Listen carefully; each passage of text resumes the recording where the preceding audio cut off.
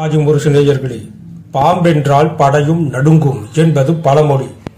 நடிகர் திலகம் சிவாஜி கணேசனுக்கும் பாம்புகளுக்கும் என்ன சம்பந்தம்? சில சம்பந்தங்கள் உண்டு. அதைத்தான் இந்த பதிவில் நாம் பார்க்க போகிறோம். பாம்பை பற்றிய தனது அனுபவத்தை நடிகர் திலகம் சொல்லியிருக்கிறார். பராசக்தியில் நடித்துக் கொண்டிருந்த காலம் முதன் முதலாக கிடைத்த திரைப்பட சந்தர்ப்பத்தை சர்வ ஜாக்கிரதையுடன் பயன்படுத்திக் கொள்ள முயற்சித்து வருகையில் என் நடிப்பை பற்றியும் நான் வசனம் பேசும் விதத்தை பற்றியும் குறை கூறிய பேச்சு இன்னும் என் நினைவு விட்டு அகலவில்லை. மனம் தளராமல் என் கடமையை செய்வதிலேயே நான் குறிக்கோளாக இருந்தேன். பராசக்தி படம் வெளியாயிற்று. தமிழ் பெருமக்கள் படத்தை பார்த்துவிட்டு கூறிய பாராட்டுரைகள் ஏற்கனவே புண்பட்டிருந்த மனதுக்கு பெரும் ஆறுதலாக இருந்தது. அத்துடனா தமிழ் பட ரசிகர்களின் பேராதரவு எனக்கு இன்று வரை திரையுலகில் நீடித்து நிற்க பேருதவியாகவும் இருக்கின்றது.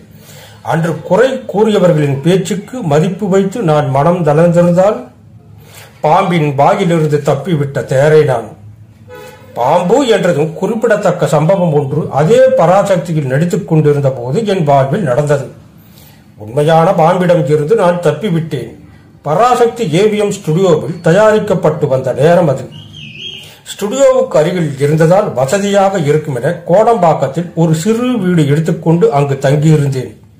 வீட்டின் வாசலில் போடப்பட்டிருந்த கீற்று கொட்டகையில் ஒரு ஈசி சேரில் சாய்ந்தவாறு எதிரே உட்கார்ந்திருந்த சக நடிகர்களும் என் நண்பர்களுமான S V Subbaiah M R Santhanam இவர்களுடன் சுவராசியமாக பேசிக் கொண்டிருந்தேன் இப்பொழுது மாதிரி அந்த நாட்களில் கோடம்பாக்கம் பகுதியில் அவ்வளவு அதிகமான வீடுகள் கிடையாது.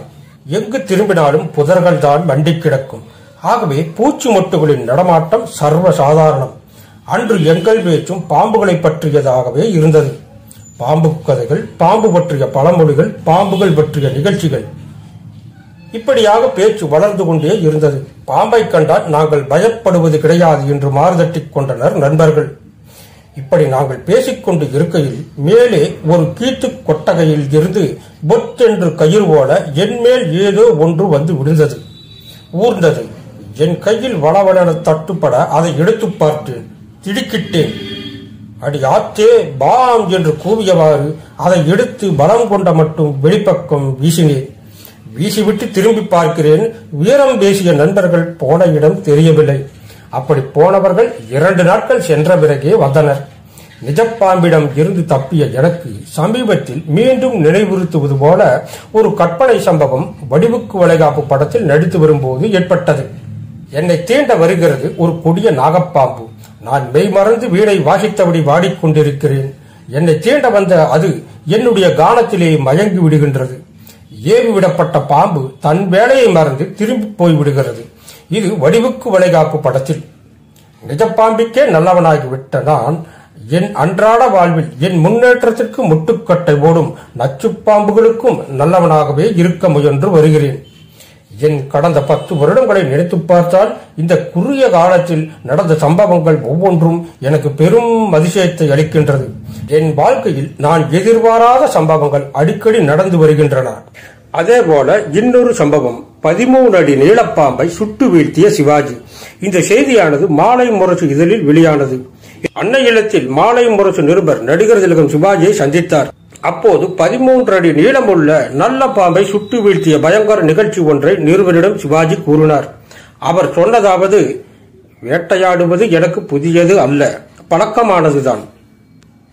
ஒரு தடவை சேலம் மாவட்டத்தைச் சேர்ந்த ஒகேனக்கல் காட்டிற்கு நானும் எனது நண்பர் ஒருவரும் வேட்டையாடச் சென்றோம்.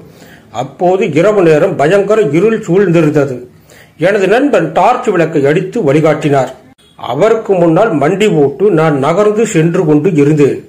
இடுப்பளவு நாணல் நிறைந்த பகுதியில் இருந்தோம் நாங்கள். அப்போது எதிரே பளிச் பளிச் என்று ஒளி வீசியது. அது புலியாகத்தான் இருக்கும் என்று நினைத்து நான் அதை சுட தயாரானேன். துப்பாக்கி ஏந்தியபடி ஒரு அடி முன்னால் எடுத்து வைத்தேன். அவ்வளவுதான் கிரீச் என்று பயங்கரமான ஒரு சத்தம் கேட்டது. அதை கேட்டதும் அதற்கு மேல் ஒரு அடி எடுத்து கூட எடுத்து வைக்க மனம் இல்லை. உடல் எல்லாம் வியர்வை. உள்ளத்தில் நடுக்கம் ஏற்பட்டது. மெதுவாக நண்பனை கூப்பிட்டேன். விளக்கை எனக்கு முன்னால் அடிக்கச் சொன்னேன் அங்கு நாங்கள் கண்டது பெரும் அதிர்ச்சியை தந்தது. இடுப்பளவு உயரத்துக்கு மேல் ஒரு கருணாக பாம்பு படம் எடுத்து ஆடிக்கொண்டிருந்தது. அதற்கு நேராக விளக்கை அடிக்கச் செய்து டுமீல் என்று துப்பாக்கியால் சுட்டு குண்டடிபட்டு பாம்பின் தலை சுக்கு சுக்காக சிதறியது. அந்த பாம்பை எடுத்து பார்த்தேன். சுமார் பதிமூன்று அடி நீளம் இருக்கும். ஏராளமான முட்டைகள் இருந்தன.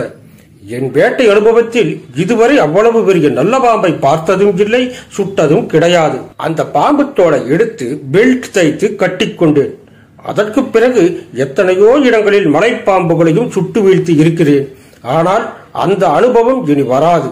இவ்வாறு மாலை முரசு நிருபரிடம் கூறினார் நடிகர் திலகம்.